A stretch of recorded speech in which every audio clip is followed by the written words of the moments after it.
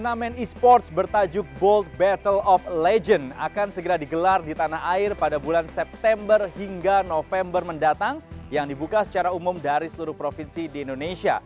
Dalam turnamen ini penyelenggara siapkan hadiah dengan total mencapai 100 juta rupiah.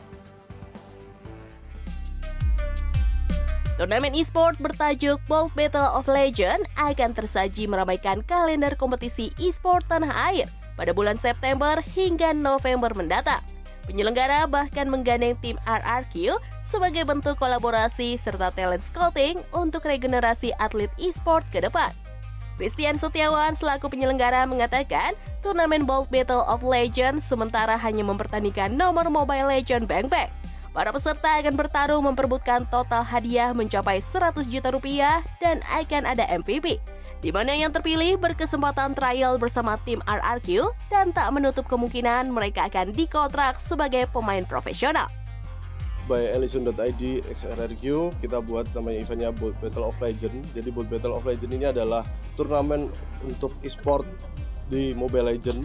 Tetapi kita bukan menghadirkan hanya sekedar turnamen, tetapi kita memberikan sesuatu yang lebih, yaitu ketika nanti masuk di babak playoff akan ada diambil MVP dan di situ MVP-nya memiliki kesempatan yang akan dikunci klinik langsung dan uh, trial di tim RRQ. Untuk hadiah sendiri dari Fresh Money kita mempunyai total hadiah adalah 100 juta rupiah untuk bagi pemenang. Nanti untuk uh, urutannya kita akan memberikan info lebih lanjut. Tetapi untuk secara total hadiahnya kita akan berikan 100 juta untuk pemenang. Acara seperti ini harus didukung, soalnya uh, RRQ itu udah bagian dari komunitas e-sports.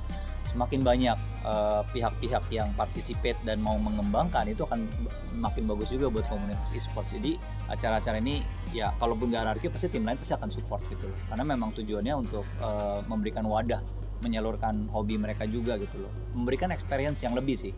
Karena biasanya orang itu lihat ya elit-elit di Jakarta aja yang bisa ngikutin, tapi di daerah gimana gitu loh uh, hanya sekelas kasarnya ya hanya sekelas 17-an aja kemarin gitu loh. Habis itu udah selesai. Tapi kalau misalnya uh, dengan kolaborasi ini mereka bisa sedikit merasakan, saya nggak bilang 100%, tapi sedikit bisa merasakan apa yang mereka tiap minggu nonton misalnya di YouTube atau di platform-platform streaming yang lain.